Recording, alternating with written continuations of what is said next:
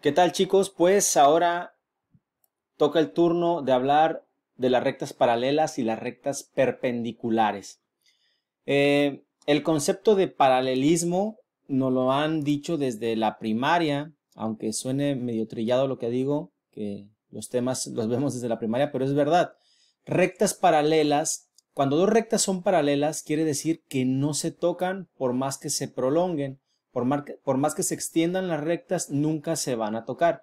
La condición para que dos rectas sean paralelas, la voy a escribir por acá. Si dos rectas son paralelas, quiere decir que tienen la misma pendiente.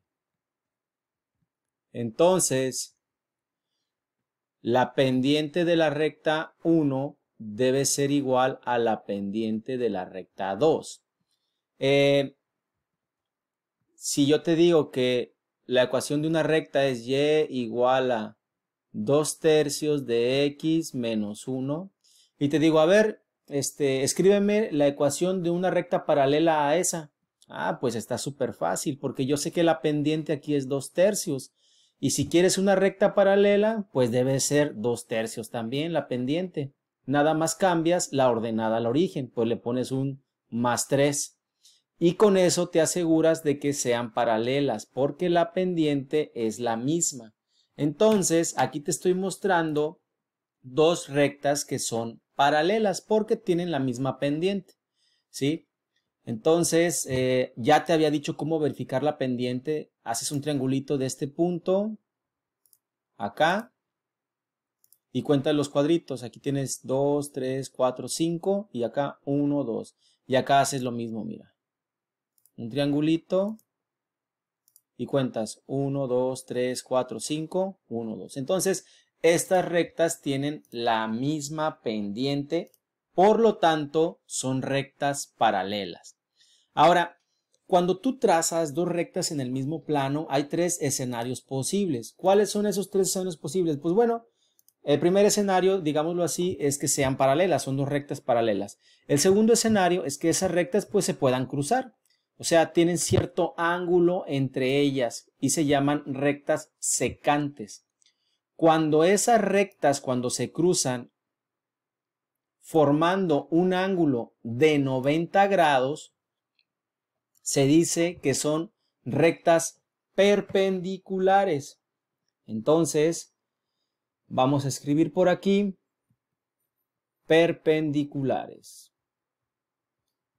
Perpendiculares. Y recuerda que son perpendiculares cuando forman un ángulo de 90 grados al cruzarse. ¿Cómo representamos eso con las pendientes? Bueno, cuando son perpendiculares tienen pendientes pendientes recíprocas recíprocas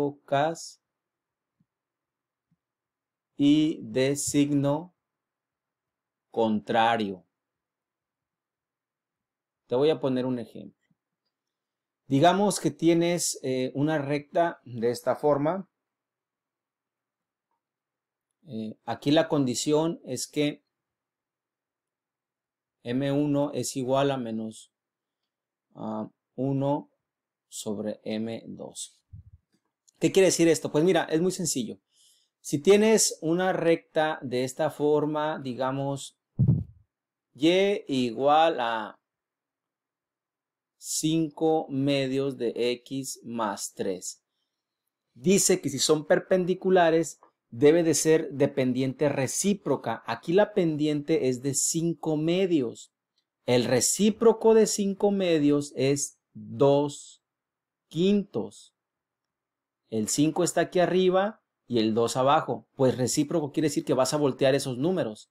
Ahora el 2 va arriba y el 5 abajo. Entonces la pendiente debe ser recíproca y de signo contrario. Si aquí, aquí hay un más que evidentemente no se ve porque el más no se acostumbra a escribir, entonces sabemos que aquí hay un más, pues entonces esta pendiente va a ser negativa. porque son recíprocas y de signo contrario. No importa que sea el mismo 3. Este numerito no importa, pero con esto me aseguro de que sean perpendiculares. Entonces, recuerda, cuando tienes dos rectas en el mismo plano, puede haber tres escenarios. Uno, que esas rectas no se crucen nunca. Eso quiere decir que son paralelas. Si son paralelas, quiere decir que tienen la misma pendiente, o sea que este numerito es el mismo. Puede ser que se crucen con cualquier ángulo diferente de 90 grados y eso se llaman secantes. O en el caso muy particular de que ese ángulo sea de 90 grados, se llaman rectas perpendiculares y en ese caso las pendientes son recíprocas y de signo contrario. Es decir, que si una pendiente dice 5 medios positivos, pues ahora va a ser 2 quintos negativos. Lo que determina si son paralelas o perpendiculares es la pendiente, chicos. Esto es muy importante. La pendiente es lo que determina si las rectas son paralelas o si las rectas son perpendiculares, ¿ok? Entonces, a continuación, vamos a ver eh, algunos casos de cómo identificarlas.